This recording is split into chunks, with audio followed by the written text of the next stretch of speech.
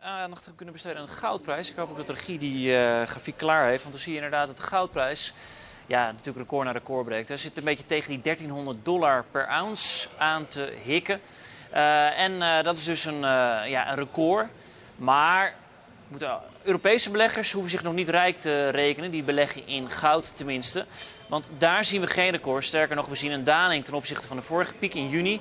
Staat de goudprijs op dit moment zo'n 80 euro lager. Dus het is echt de, ja, de, de, de, de eigen centrale bankiers in Amerika. Die vanwege, de gisteren maakten ze dat ook weer bekend, hè, opnieuw geld gaan pompen in de economie. Centrale bankiers zijn op dit moment de grootste vrienden van goudbeleggers. Goud is, kun je het beste zien nu op dit moment als een soort valuta.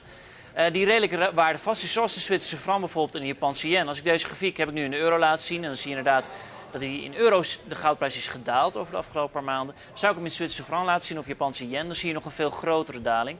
Dus op dit moment zijn vooral eigenlijk, is Ben Bernanke op dit moment de beste vriend van de goudbelegger. Oké, okay, uh, maar uh, de stijging van de goudprijs wordt ook wel eens uitgelegd als een, een groeiend wantrouwen in andere beleggingsvormen. Obligaties, uh, staatsobligaties, aandelen. Speelt dat nu ook? Nou, dat speelt nu wat minder. Kijk, de aandelenbeurs is de afgelopen maanden in ieder geval ook wel aardig gestegen.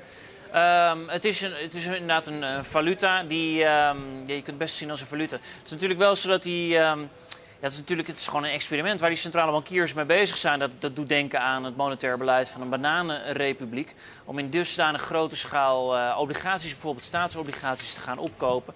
Uh, en dat, vandaar dat het een, ja, een soort reclame is voor goud. Maar ook obligaties, ook staatsobligaties zijn gestegen. Je weet ook dat de rente toch de afgelopen tijd, per saldo, dit jaar tenminste, flink is gedaald. Dus het is eigenlijk een beetje het oppompen van alle beleggingscategorieën dat de centrale bank uh, probeert. En eigenlijk inderdaad tot op heden lukt het nog het beste bij goud.